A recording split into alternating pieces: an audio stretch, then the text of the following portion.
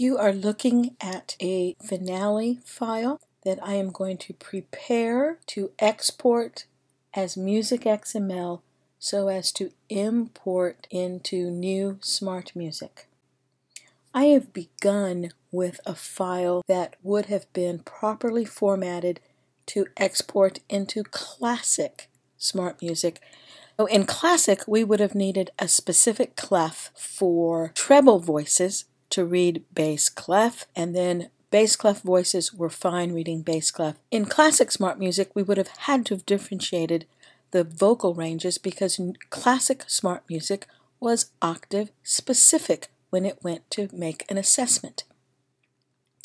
That is not true in new SmartMusic.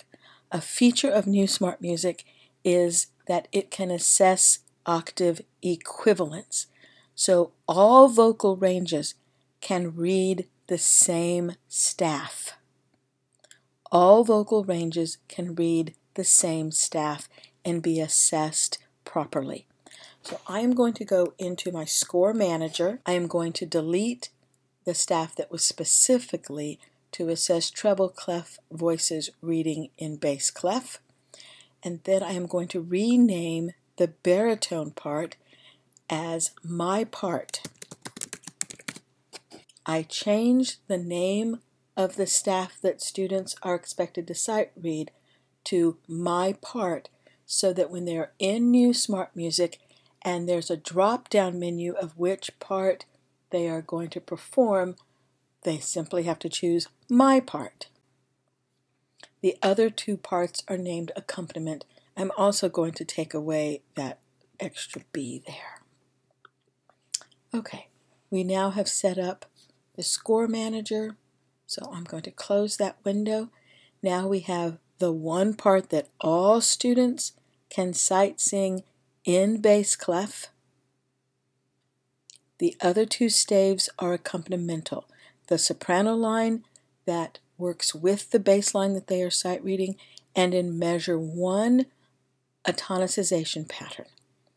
Now, another reason why I deleted the treble clef part is that new SmartMusic, when interpreting a score that has been uploaded,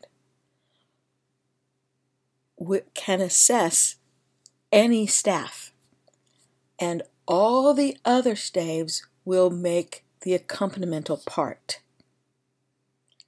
That's not as it was in classic. Remember that in classic SmartMusic, you were able to designate which staves were the accompaniment, separate from which staves were available to be assessed.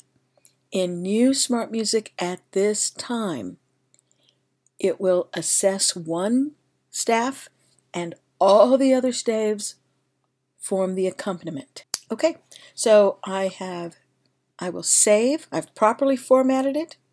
We can do further formatting once we're inside New SmartMusic, but I like to do as much of my formatting inside the Finale file. And I go back to the file, export as MusicXML. I'm going to take a moment, look just beneath that, translate folder.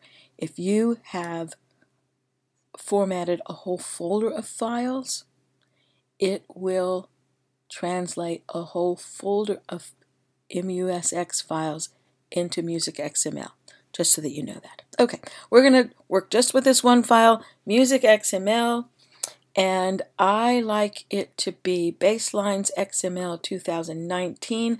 I previously saved this file, so it's probably going to tell me that I already have a copy, and I'm going to let that replace. Okay, now we are ready to leave Finale and open up the Chrome browser and log in to New SmartMusic and import our MusicXML copy of BWV 451, a bassline.